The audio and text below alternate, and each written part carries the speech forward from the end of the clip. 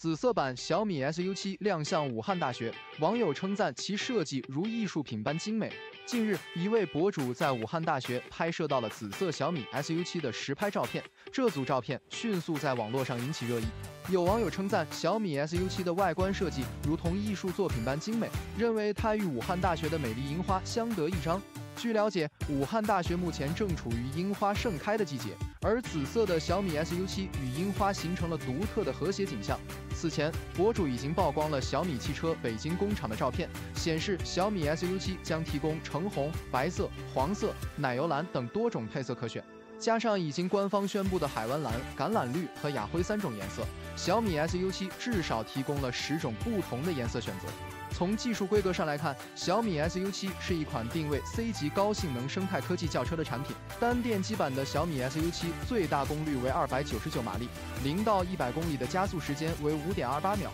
小米 SU7 凭借其精美的设计和出色的性能，在网友中引发了热议，期待它在未来的汽车市场中大放异彩。